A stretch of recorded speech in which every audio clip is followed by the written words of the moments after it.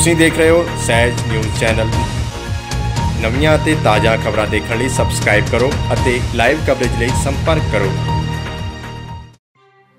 ਪਿੰਡ ਭਾਣੋਕੀ ਵਿਖੇ ਨਵੇਂ ਸਿਰੇ ਤੋਂ ਸ਼ਮਸ਼ਾਨ ਘਾਟ ਦੀ ਉਸਾਰੀ ਦੇ ਕੰਮ ਦੀ ਸ਼ੁਰੂਆਤ ਹੋਈ, ਜਿਸ ਦਾ ਸਾਰਾ ਖਰਚਾ ਪ੍ਰਵਾਸੀ ਭਾਰਤੀ ਨਿਰਮਲ ਸਿੰਘ ਯੂਕੇ ਵੱਲੋਂ ਕੀਤਾ ਜਾਵੇਗਾ। ਇਸ ਕੰਮ ਦੀ ਸ਼ੁਰੂਆਤ ਪ੍ਰਵਾਸੀ ਭਾਰਤੀ ਨਿਰਮਲ ਸਿੰਘ ਦੇ ਭਰਾ ਸੋਹਣ ਸਿੰਘ ਨੇ ਆਪਣੇ ਘਰ ਕਮਲਾ ਨਾਲ ਕੀਤੀ।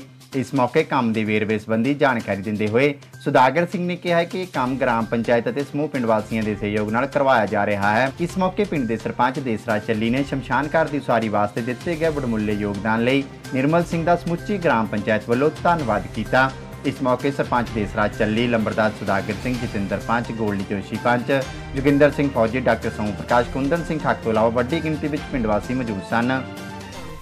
ਪਿੰਡ ਵਿਖੇ ਸ਼ਮਸ਼ਾਨ ਘਾਟ ਦੀ ਜਿੰਨੀ ਵੀ ਬੜਾ ਪਾਣੀ ਦੇ ਭਰ ਜਾਂਦਾ ਸੀ ਨੀਮਾ ਸੀ ਉਹਦੀ ਜਿੰਨੀ ਵੀ ਸੇਵਾ ਸਰਦਾਰ ਨਿਰਮਲ ਸਿੰਘ ਇੰਗਲੈਂਡ ਨਿਵਾਸੀ ਨੇ ਉਹਨਾਂ ਦੇ ਬ੍ਰਦਰ ਸਰਦਾਰ ਸੋਹਣ ਸਿੰਘ ਉਹਨਾਂ ਨੇ ਆਪ- ਨੀਂਹ ਪੱਥਰ ਰੱਖਿਆ ਜੀ ਜੋ ਵੀ ਅੱਗੇ, ਜੋ ਵੀ ਬਣਾਉਣ ਵਾਲਾ ਹੋਊਗਾ ਇੰਟਰਲੌਕ ਵਗੈਰਾ ਭੱਠੀ ਵੀ ਨਵੀਂ ਬਣੂਗੀ ਸ਼ੈੱਡ ਵੀ ਬਣੂਗੀ ਜੋ ਵੀ ਕੰਮ ਕਰਾਉਣ ਵਾਲੇ ਆ ਉਹ ਸਰਦਾਰ ਇੰਗਲੈਂਡ ਨਿਵਾਸੀ ਨਿਰਮਲ ਸਿੰਘ ਵੱਲੋਂ ਕਰਾਏ ਜਾਣਗੇ ਪੰਚਾਇਤ ਦਾ ਤੇ ਸਾਰੇ ਪਿੰਡ ਦਾ।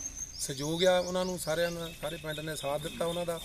ਤੇ ਇਸ ਕਰਕੇ ਜਿੰਨਾ ਵੀ ਵੱਧ ਤੋਂ ਵੱਧ ਹੋਰ ਵੀ ਉਹ ਪਿੰਡ ਦੇ ਬੜੇ ਕੰਮ ਕਰਾਏ ਆ, ਕਰਾਉਂਦੇ ਆ।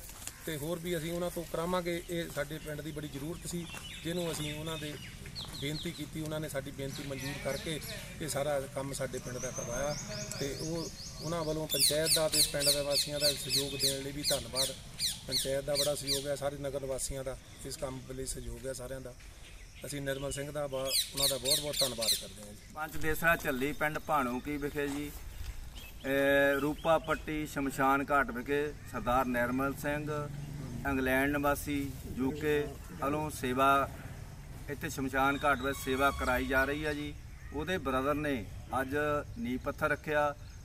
ਪੈ- ਇਹਦੇ ਨਵੀਂ ਉਸਾਰੀ ਸ਼ੁਰੂ ਕੀਤੀ ਆ ਜੀ। ਉਹ ਸ਼ੈੱਡ ਵੀ ਨਵੀਂ ਬਣਾਉਣਗੇ ਜੀ। ਤਾਂ ਪਾਣੀ ਵਾਲੀ ਟੈਂਕੀ ਔਰ ਲੋਕ ਵਾਲੀਆਂ ਇੱਟਾਂ ਲਾਈਆਂ ਜਾਣਗੀਆਂ ਜੀ।